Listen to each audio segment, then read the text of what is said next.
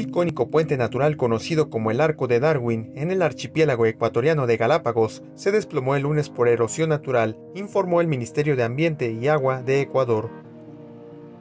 La cartera indicó en su cuenta en la red social Twitter que el arco es un atractivo puente natural, ubicado a menos de un kilómetro de la isla Darwin, la más norte del archipiélago de Galápagos.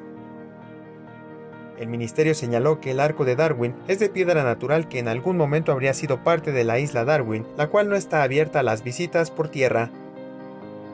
El desplome del arco dejó desoladas a los dos pilares de roca, unidos ahora únicamente desde la base.